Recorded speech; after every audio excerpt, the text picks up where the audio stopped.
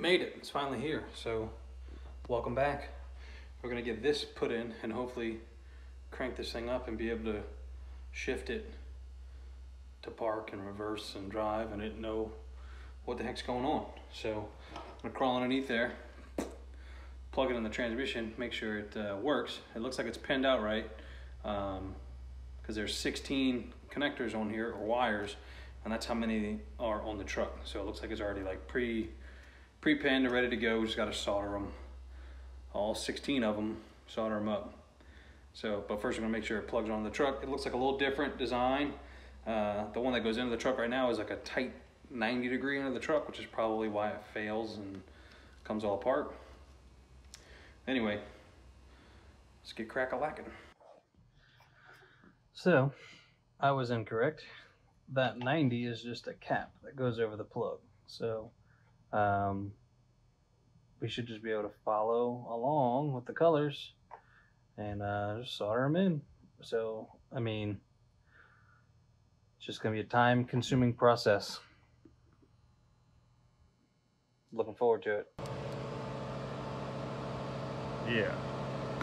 That's why I was, I was like, man, fuck, I, I was feeling bad, dude, because I was like, man, I know he's going to be by himself.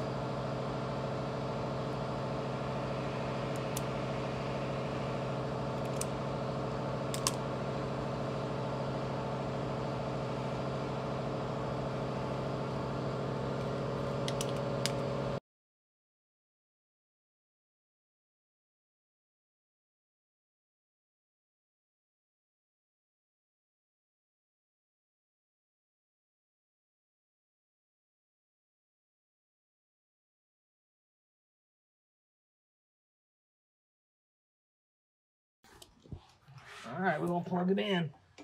See if it does what it's supposed to be doing. It's kind of a tricky little plug, but usually it's got like the two little. Definitely not supposed to route under here either. No, it goes over the cross member. Yeah. But just for uh, Testing purposes. Yeah. Plug her in just like that. plug it in. All right. See what we got. Let's see.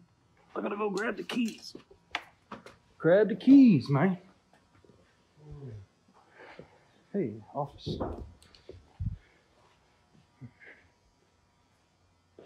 Oh.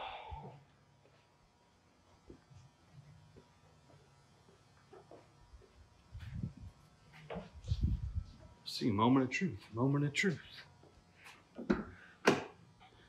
Yeah.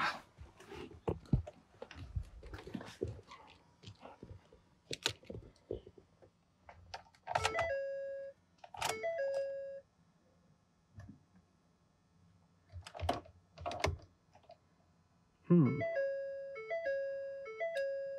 Well, dang. Still, it's like it's not all the way plugged in. Sure, you got it all the way. Might not have it all the way plugged up in there.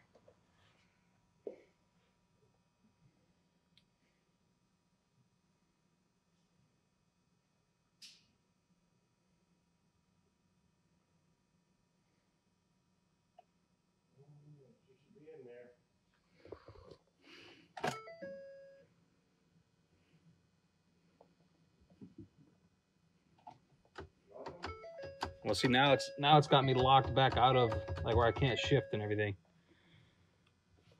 Something ain't right. Okay, so Joseph right there. Hello. Lumen up some wire. Uh, we're in the wrong spot of the transmission, but way up there by the plug, there's a shift cable. Well, there's a uh, Adjustment. adjustment, or Or it's really just what holds the shift cable in place. a proper work.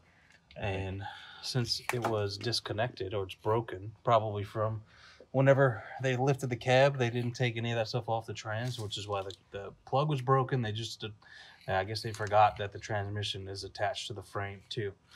Um, so it broke where the cable is actually tied onto the frame. So once it pops out of that position, the cable essentially becomes longer and no longer actually pushes the selector pawl into park. So that's what our deal was then. It wasn't all the way in park. Um, so we uh, zip tied it back into the proper place. We'll see how long that lasts. If I have to get in, you have to get a whole new cable to replace that part. I'm trying to avoid that. So if the old cable tie does the trick, we'll just leave it like that. Uh, it's not like structural or anything. It just keeps that cable from popping out of place. So uh, I think we should be good. So we're looming up this wiring harness and then we're gonna see what she does. She should crank right up. So. Oh, the batteries are charged. Ah, trivial. So that's what we're doing right now. The old loomage. It's not fun. It's not a fun job. All right, guys. So what we got going on here is I am. This is the uh, USB that's on the aftermarket radio here. Um, what I'm gonna do there is just hot glue, you know, with one of these.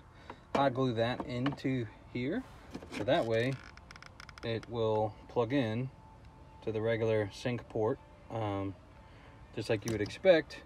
But if we ever need to take it out, we can just spray some, uh, I'll just spray some contact cleaner on this, the hot glue and that'll kind of melt it out and you can just pop it out. So it's, it's secure, but not like a permanent uh, deal. So we'll be able to service it. So um, that's what we're doing. So it shouldn't take but a couple minutes and then we'll be uh, pretty much wrapped up as far as like the initial stuff. Like we can go take it for a drive and put some power steering fluid in it and um, make sure it runs good and, and all that good stuff. So see you guys in a bit. So in the last video I showed you guys, maybe it was the one before that, I don't know, in another video, I showed you guys where the cab was all torn out.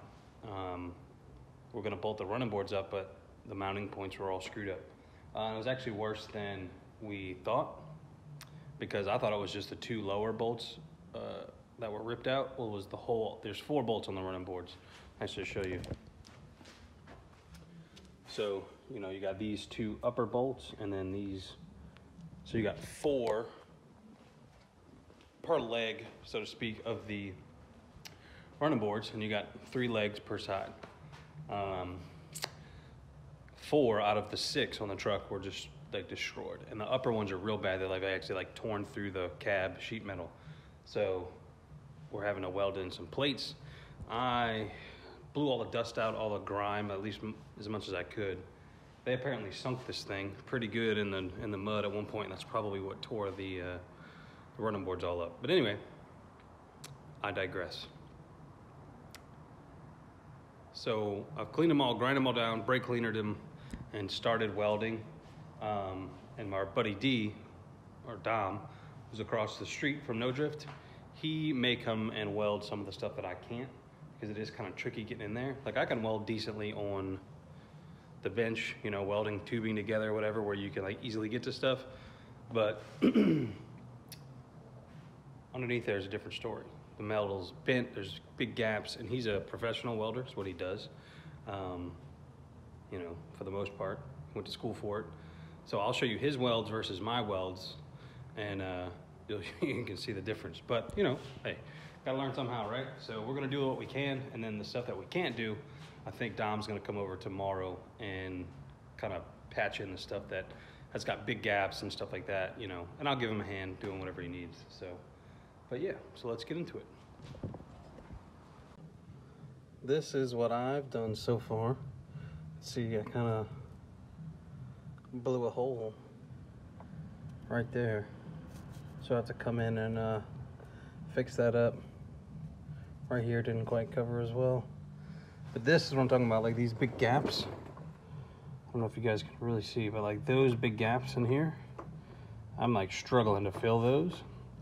So I may get these plates just kind of done as best as I can and then have Dom come in, you know, and fill in these lower big giant gaps. so he kind of welded in this one yesterday. So you can see kind of the difference. I mean, he had to put a ton of material right here. Same thing, just kind of fill it in. Uh, and he's gonna do the top one over here because that's got a big old gap, you know, when it shrank. So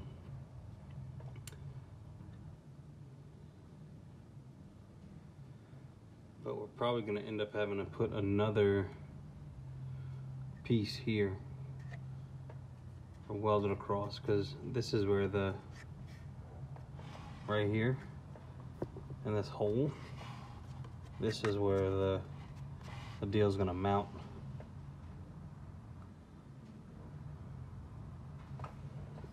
So got a little bit more cleanup to do on this side. I'm gonna put in another probably just put in a whole big chunk right here. It's fun times y'all. But you know this is where it mounts in the factory here here you know then it'll be here and here. We'll weld all this in all together. So same thing on this side. Oh sorry just hit your head on the uh, exhaust. You know we got all that cleaned up as much as we can. Around the edges where we're going to be welding in the plate the fronts are okay. I don't know why those fronts up here. Ding. Are not so bad. This one obviously you know all ripped out back here. So that's what we're working with today is uh trying to patch all this stuff up so we can uh, put the running boards back on the truck. Because this thing is super tall. So here's a better view. Actually, let me turn this guy this way. That's a better view of the damage. You can see where it's supposed to bolt up right here. You're supposed to have a bolt down here. All that's gone. It's all torn out. So we're gonna weld in a plate starting from up here all the way through and uh, close it up as best we can. And what I'm gonna do is just tack the plate into place because I'm running out of time to work on this thing today. Um, I'm gonna tack this one in place and that one in place and then Dom will come in and uh, weld up the rest. So um, that's the plan. So we'll get we'll throw a few tacks on this guy and um, hopefully come back on Tuesday evening and see how Dom did.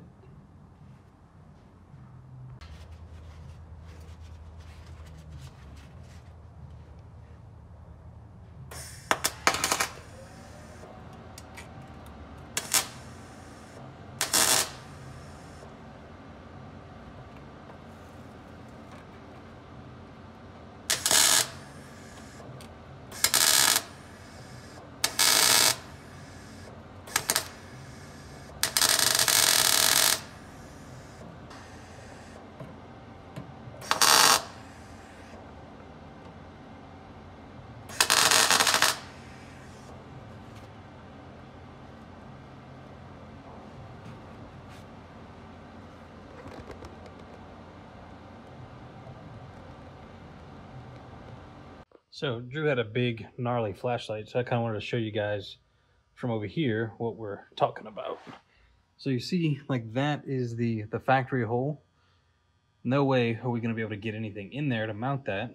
And then, so, but then this, so you can see those guys, those two uh, 8 mils, they're actually slotted. So I'll be able to loosen, loosen those two bolts up and slide this whole L bracket down on the the step bar and then get that in place. And see there's uh, Dom's weld job. Uh, like I said, I just primed over it just so we wouldn't get any uh, rust or prevent as much as we could. See, we got one one bolt, one measly bolt back there holding it in um, just to kind of get everything lined up. I'm gonna go back there, snug it up. Um, and then we'll put a J clip in this side. And so at least we'll have it pretty much where it's going to be, where it's going to live on the truck. We'll drill our holes, then we'll uh, riv nut it in there and then uh, mount it. So moving right along. All right, guys, I got our uh, riv nuts in. One, two, three. Gonna use the factory J clip there. and one, two, factory J clip, J clip. So I am going to pop a little another coat of uh, self etching primer on this guy and then probably a coat of black. And then we're gonna mount this bad boy up on this side so let's do that all right guys so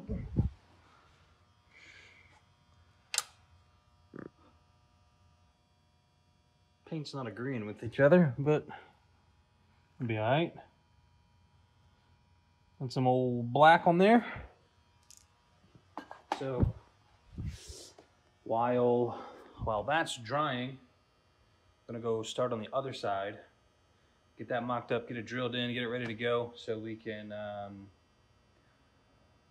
um, get finished before you know two in the morning. So yeah.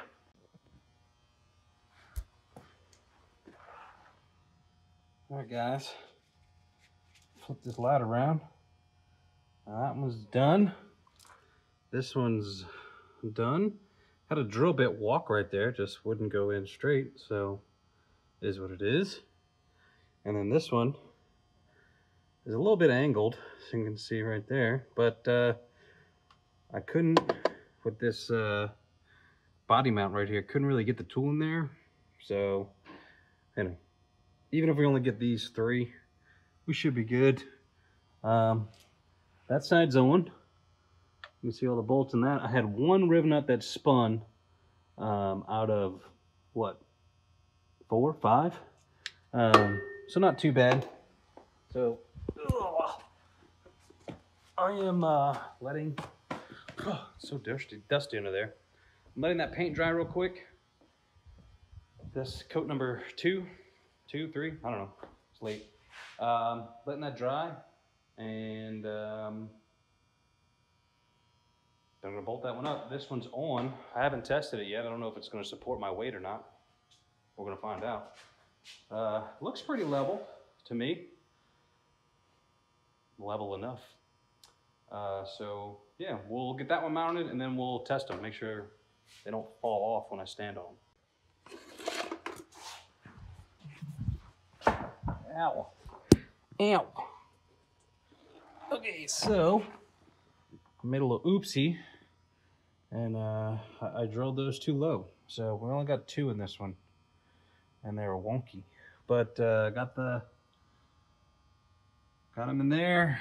I think we got all but one in this one. Yeah. Eh, you know, and it was going too fast for my own good. But uh, I'm pretty solid. I don't think she's going anywhere. Moment of truth. Let's see.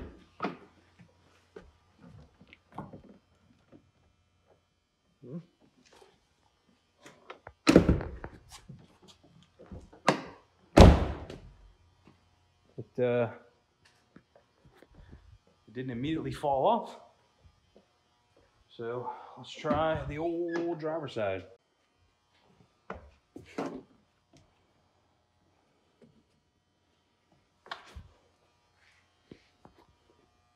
Seems strong enough.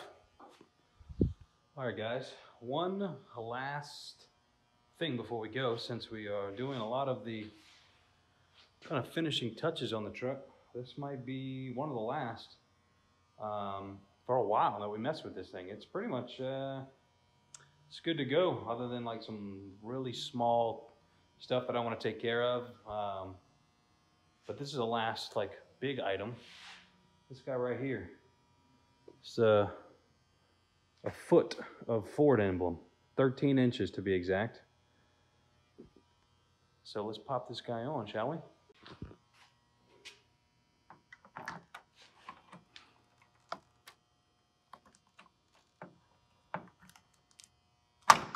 Oh.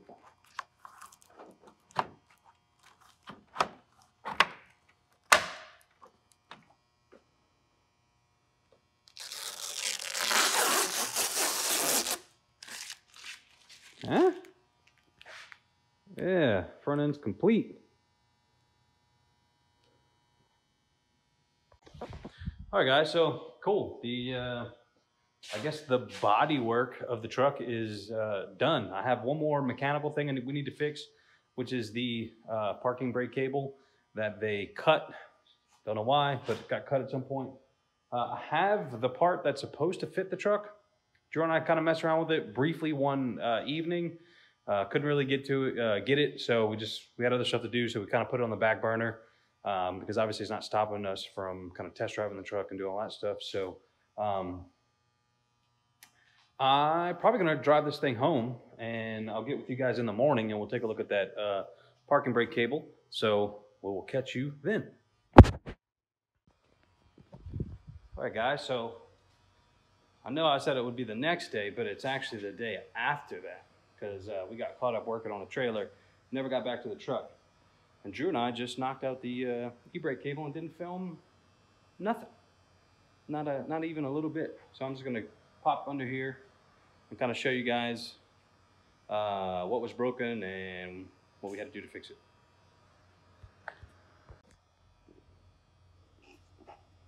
Oh, my light. My light.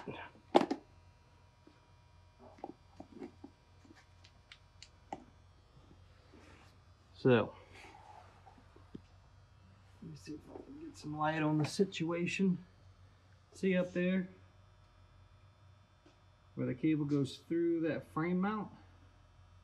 They cut the cable basically right here and then pulled the cable out of the frame mount, just yanked it out. Um, probably when they lifted up the cab. So the tabs are bent on that little mount. Had to rebend them back.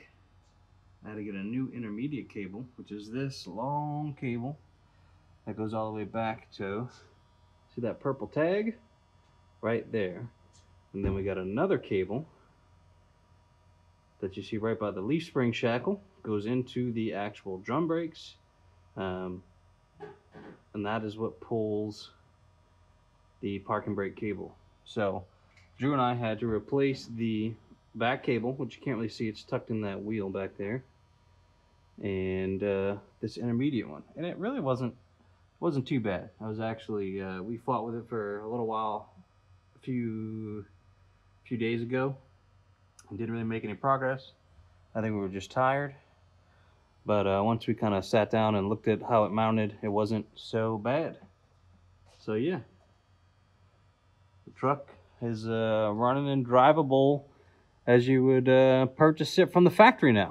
So sweet.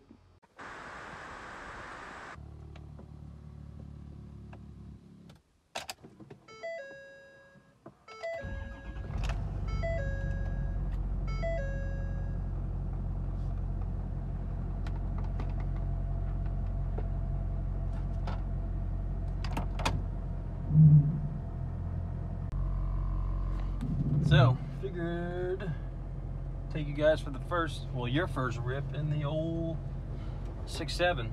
I've driven around a little bit. Um, it ain't bad. It's got a ton of torque, obviously. Um, and it gets decent gas mileage, fuel mileage, whatever you call it. Um, since technically we're not running on gas. But um, when it's not in regen, which it does, I don't know, every tank or so, I guess it does a regen.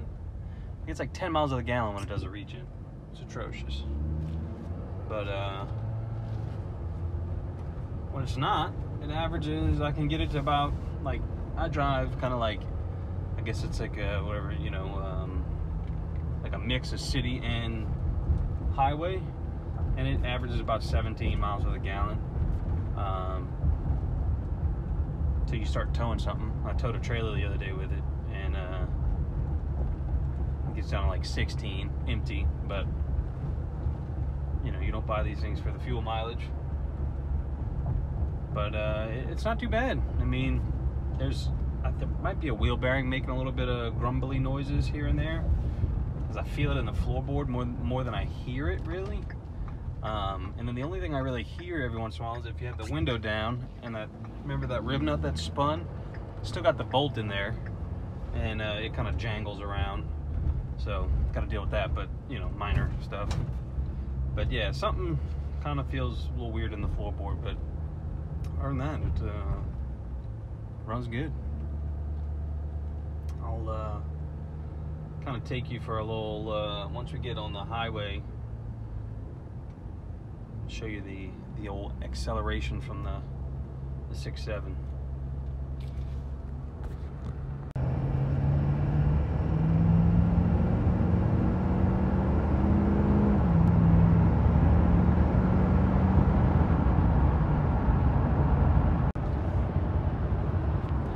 So that was a little half throttle pull um, from what I don't know, 20 to 70.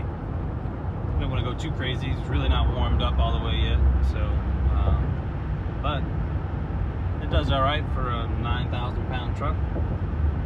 Um, I got a little wind noise from right up here. I don't know if you guys will even really be able to tell, but other than that, I mean it's pretty quiet in here suspension's stiff like you'd expect from a big massive truck but other than that pretty comfy in here. Heated seats cooled seats all the things that you want. So but until any other decent projects I mean this is pretty much it. She's pretty much good to go. Um, so we've successfully turned this into a uh, you know a decent truck from one that was uh, mismatched colors and destroyed interior and everything else. Mean, it's a, it's a daily. You could easily drive this around pretty comfy every day and tow whatever you want. I mean, so is it as comfy as the F-150? No, but it will also tow an additional like 8,000 pounds. So everything in life is a compromise. But anyway, guys, I hope you enjoy the video and uh, like kind of the series of the truck coming together. Um, I'm sure there'll be other little knickknack projects that we'll film and stuff on it. Um, but until then, thanks for watching. Thanks for coming out. And uh, if you enjoyed the video, give it a thumbs up. If not, thumb it down. If you liked it well enough, consider hitting that subscribe button. And I will see you guys on the next one. Peace.